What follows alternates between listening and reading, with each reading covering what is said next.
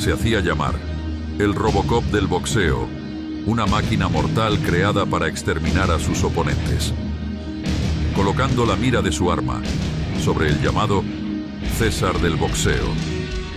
Pero aquella noche de 1993 se convertiría en el día del juicio final, donde el inglés Andy Holligan terminaría como chatarra retorcida tras conocer el verdadero poder de un auténtico Terminator del boxeo.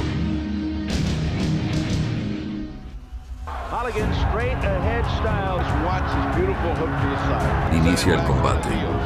Y el cyborg del boxeo presiona a Chávez, obligando al mexicano a retroceder, algo muy pocas veces visto durante los combates del César del boxeo.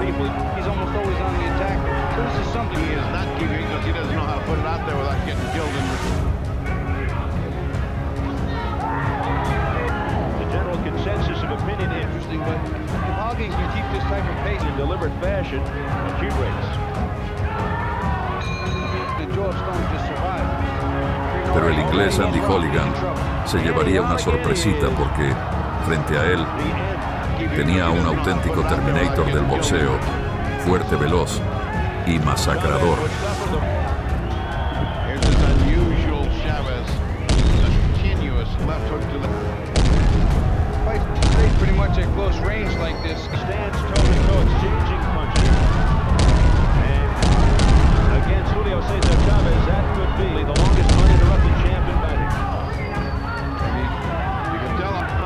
Los ataques del mexicano eran brutales, sus puños como un mazo de hierro, que convertían las entrañas del Robocop en simple chatarra de basurero.